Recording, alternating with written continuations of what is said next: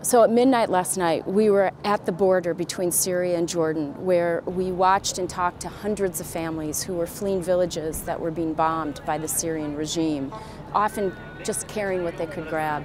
This morning we were at the Zaatari camp, where we saw them being given tents and mattresses. The United States is so committed to helping these folks, the Syrian people, in their time of need.